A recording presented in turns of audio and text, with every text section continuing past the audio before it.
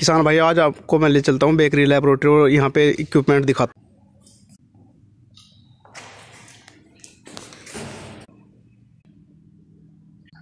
अगर आप complete video देखना चाहते हो तो चैनल को सब्सक्राइब कीजिए। धन्यवाद।